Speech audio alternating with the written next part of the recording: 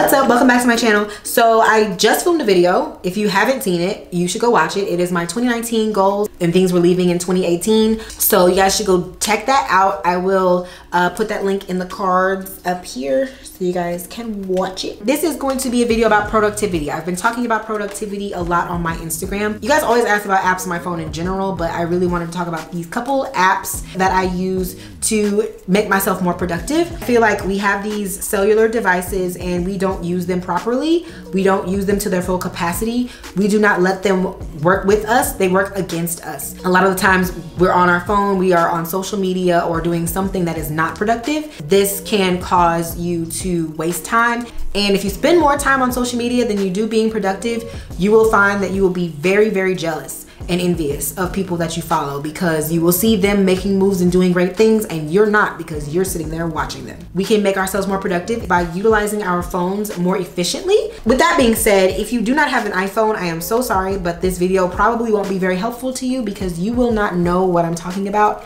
unless you have a phone that does this. There is a new feature on the newest update of iOS and I'm going to record my screen so that you guys can follow along with me. In iOS 12, there is a function in your settings. It is called screen time. Screen time allows you to see how much of your time you are using for specific apps, how much you open your phone, what you're actually using your phone for. So it'll basically help you to be more productive by giving you a way to monitor the time that you spend on each app. And you can either limit categories or you can limit different apps. So I have specific limits on the apps that I know that I use way too much. I know I play Candy Crush way too much. So I limited Candy Crush to an hour a day. I have a very low tolerance for ignorance on Twitter. So if I stay on Twitter too long, I will become stressed out or I will become frustrated and annoyed with people. So I limited my time on Twitter uh, to an hour.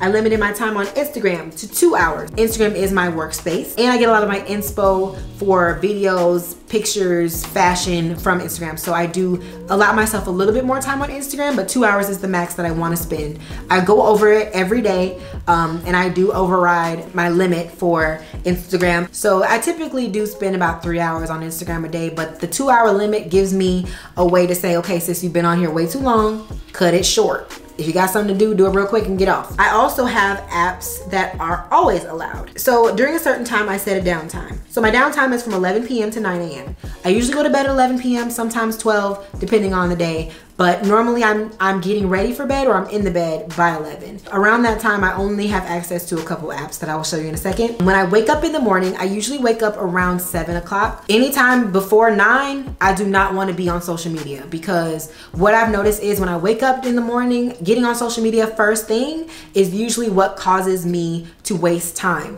Um, and it also causes me to not have a good day because a lot of stuff that people post is just not conducive to my early morning. The one thing I need to work on is my relationship with God and spending more time with God and reading my Bible. And so this is forcing me to actually do that by limiting the apps that I can use in the morning. From 11 p.m. to 9 a.m., all of my apps are shut off except for messages, FaceTime because just in case somebody texts me or call me, I need to know what's going on. Nobody really hits me up in the morning, so I'm not really concerned about that. And then maps, just in case I need to drive somewhere early in the morning or drive somewhere at night. The only other apps that I'm allowed to use during that time is the Bible, the Logos Bible, which is uh, more of a reference Bible. I don't really use that one as much. And then my other Bible app that I don't really ever use. I don't even know the name of it. Um, but those, those are Bible apps.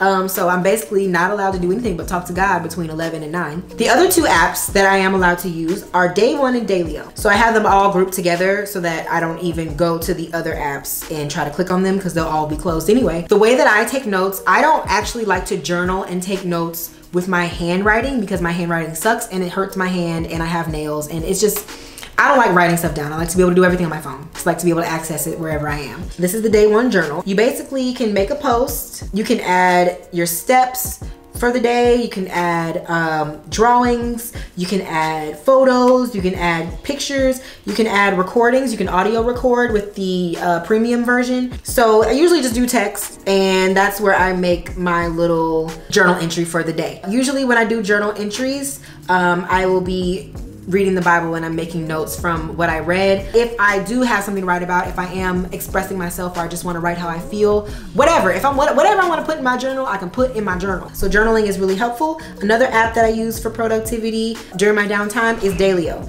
The Daylio app.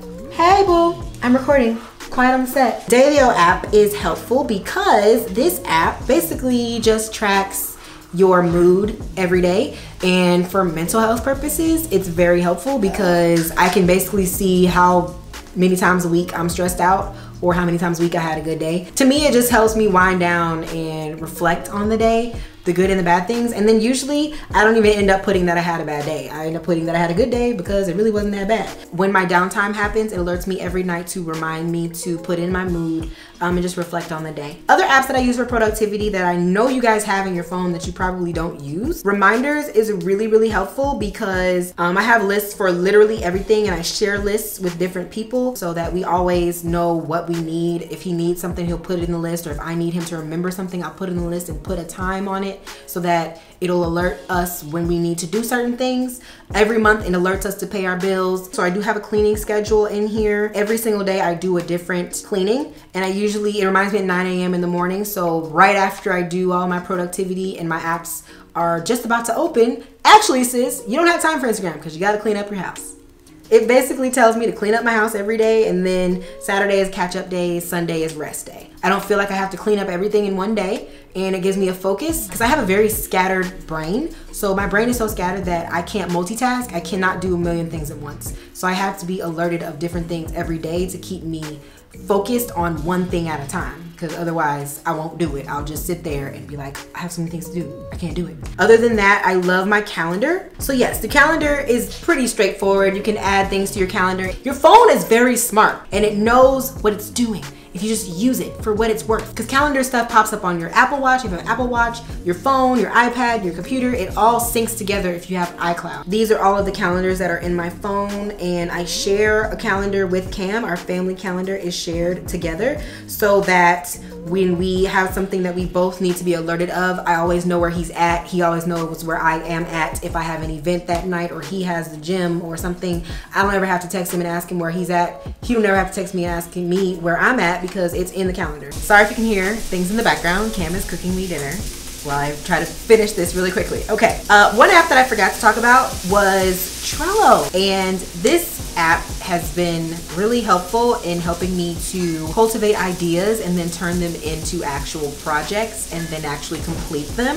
Um, I mostly, mainly, mostly use this for projects that I actually are working with other people. So working with Cam or doing sponsorships, collaborations, things like that. It's easier for me to put everything into its own group so that I remember my talking points, I remember important steps that I need to take, things that I need to have, like, you know, materials that I need. And then it also keeps me organized with what I've completed, what I haven't completed, what's due at what time.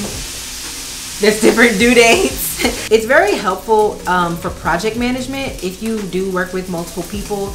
Um, it works for any type of projects, not just YouTube videos, but any projects in general. And um, it'll alert people It'll alert you, it'll send you notifications when stuff is due. It's really, really helpful. I use that mainly for social media stuff. So all my social media work, I use Trello for that. I have a lot of apps that I use for Instagram, mainly for productivity purposes, for like posting and scheduling. One of the ones that I typically use is called Preview. Uh, there's another one called Planoly. Both of those, I like them, but they both have their limitations, mainly because most apps out there wants you to buy stuff. I haven't bought the premium version of these apps yet.